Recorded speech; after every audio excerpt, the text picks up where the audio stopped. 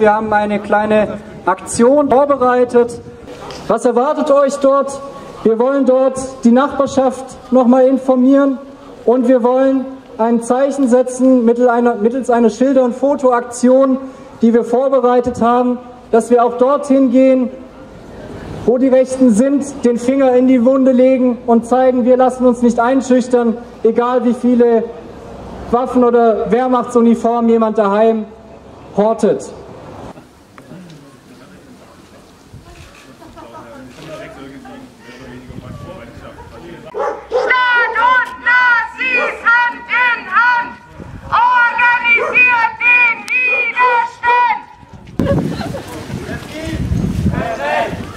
Ας πίσω στα.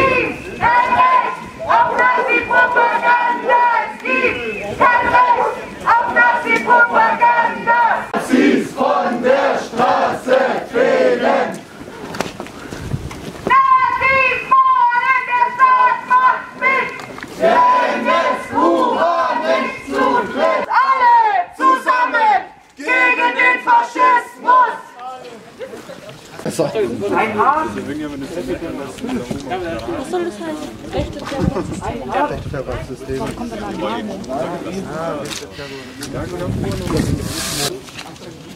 Wir haben natürlich jetzt ein bisschen gebraucht, um die Schilder in die richtige Reihenfolge zu bringen. Das ist natürlich auch ein Teil unserer Kunstaktion gewesen, denn es verdeutlicht symbolisch, wie lange der Staatsschutz äh, braucht, um rechte Terrornetzwerke überhaupt aufzudecken.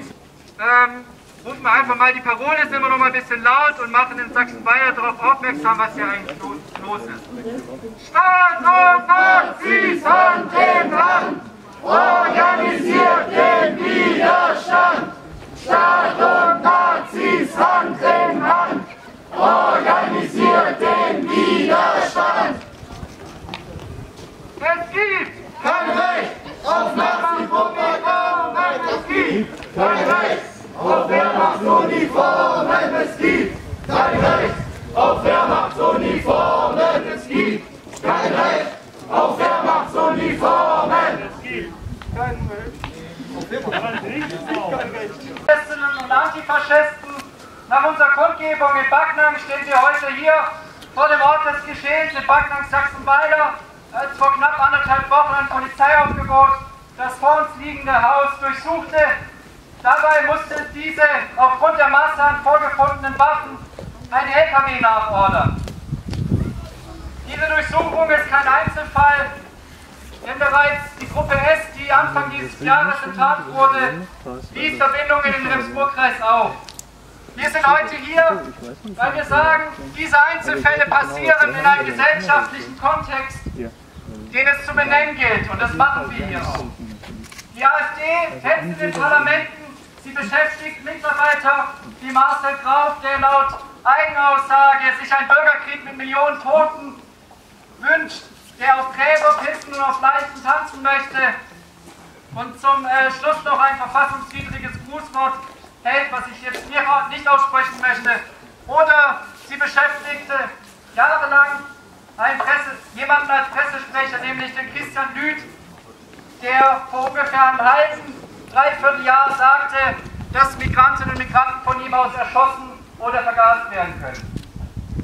Das alles sind die Wurzeln für das Unkraut des braunen Terrors und das wollen wir nicht hinnehmen.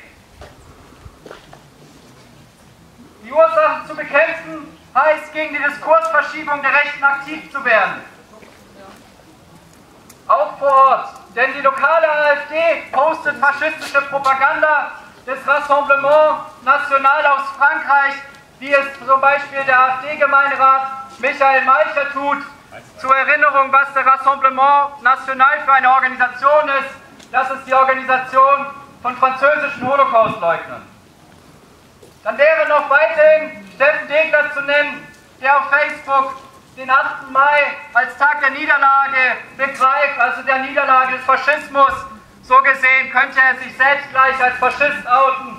Des Weiteren wird es noch eindeutiger, wenn man sich anschaut, welche Art von Gedichten er postet, nämlich die eines gewissen Bogislav von Selchow, ein Hitlerverehrer der ersten Stunde.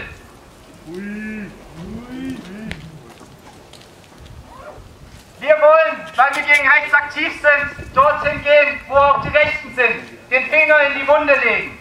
Und das, liebe Anwohnerinnen und Anwohner, wir euch, dazu möchten wir euch auch ermutigen.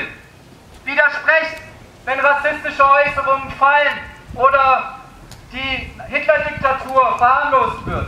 Geht auf Distanz, wenn jemand rechte Klamotten trägt oder eine Wehrmachtsuniform beispielsweise. Und werdet selbst aktiv gegen Rassismus und Faschismus.